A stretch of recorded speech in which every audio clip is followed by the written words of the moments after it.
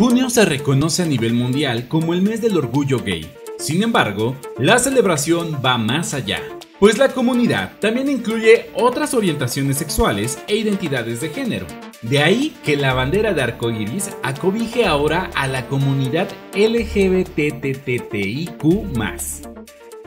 Hola, yo soy Baby Doll y mi característica principal es ser una niña bien coqueta, tierna, pero al mismo tiempo extravagante.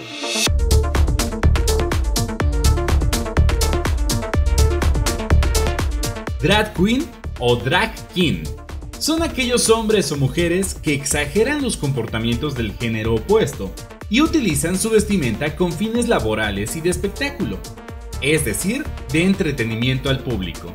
Esto, al igual que el travestismo, no está relacionado necesariamente con alguna orientación sexual o identidad de género. Platicamos con Luis, o como se le conoce en los escenarios poblanos, Baby Doll que combina su trabajo en una tienda de autoservicio con sexys atuendos y maquillaje llamativo para su espectáculo con baile e interpretación musical. He recibido varios comentarios o varias críticas en cuanto a mis shows, en cuanto a veces no siempre hago lip sync. Pero pues siento que en un show no siempre tienes que hacer un lip sync. Porque hay de shows a shows. O sea, literal hay interpretación de canciones, que es donde lo característico sería un lip sync. En cuanto a mí, pues siento que es muy diferente hacer un show de interpretación a un show de baile.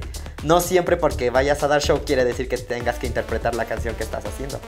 O sea, hay otras cosas características.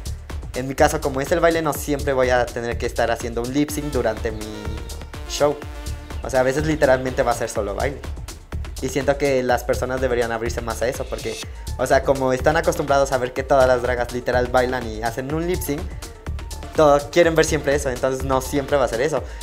Puebla está en pleno crecimiento de talento, en cuanto a draga se refiere, y Baby Doll reconoce la solidaridad de las más experimentadas. Aquí en Puebla eran contadas las personas que hacían drag. O sea, personas con experiencia eran contadas. Esto como que empezó a tener más impulso igual gracias a otras personas que se han tomado la molestia y el atrevimiento de decir, no, pues sabes que voy a hacer esto y es como las personas se han ido animando. De hecho, este. Pues yo surgí gracias a una de esas personas. Porque, o sea, literal, yo no lo pensaba intentar. Después esa persona me dijo: Tienes talento, tienes como que. Una chispa única. Lo único que tú necesitas es como que el impulso o algo así. Entonces me empezó a decir como que de, va a haber tal evento, ¿quieres venir? Y así. Entonces como que siento que a base de eso las dragas han ido surgiendo poco a poco.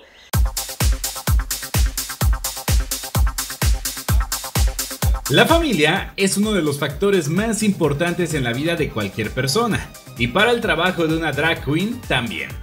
Pues mi mamá le, le, conté, bueno, a todos les conté, pero mi mamá es una persona como que muy olvidadiza, entonces ahorita yo creo que si le, le comento me va a decir, ¿y por qué no me habías dicho? Aunque ya le había dicho. A mi hermana le gusta mucho, mi hermana es más pequeña, tiene 17. Entonces ella sí le gusta, igual como que cuando le enseño fotos o videos de los shows, como que se queda así como de, ¿y a poco hiciste todo eso tú? Y así. Y pues mi hermano es pequeño, igual yo creo que si le cuento algo como que se le olvida o me va a decir, ¿y esa persona quién es? Así. Pero igual como que no, no veo una falta como de apoyo por esa parte o así. Como todo trabajo, las drag queen requieren recursos para obtener atuendos, desde los más básicos con precios de 2 mil pesos para un solo show, y la generosidad del público lo hace posible. Porque ser drag es un personaje, implica trabajo, o sea, no es así como de que, pues nada más voy por salir, me voy a vestir así y ya. Y si quiero enseño busto y si no, no. O sea, no, o sea, son aspectos que se cuidan. Este, son los encargados de los bares, o sea, los dueños los que se encargan de llamarnos y nos dicen, no, pues, este, me gustaría que vinieras. Ya se llega a un acuerdo en cuanto a la, a la paga y así muy independiente cuando uno presenta shows, este, los mismos comensales son los que deciden si te dan alguna propina extra. O sea, eso ya sería muy independiente. O sea, tu paga es la que te da el bar como tal, en donde te presentas. Pero si a los clientes les gusta tu trabajo, ya ellos te dan de propina lo que gustan. No, o sea, ellos, o sea, mientras estás haciendo tu show, ellos se acercan con el billete literal. O si no, al final del show, ellos se acercan igual te lo dan. Y no necesariamente tiene que ser físico, algunos te hacen transferencia. Para todo gran espectáculo se requiere los mejores atuendos. Y el diseñador de moda, Juan Antonio, hace realidad todas las fantasías. Los vestuarios que más he hecho, eh, como que resaltan porque son muy de que transparencias o escotes, eh, como enseñar mucha piel, que a lo mejor a muchas dragas no les gusta, porque pues no son seguros de su cuerpo y así.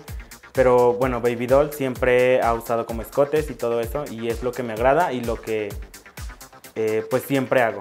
Tratar de resaltar como la feminidad y mucho escote.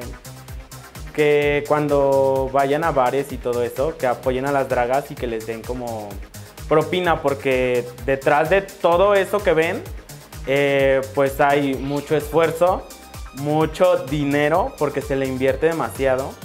Y pues, o sea, pues no es fácil, no es fácil y es un arte que se debe apreciar. Para Oro Noticias, Javier Garzón.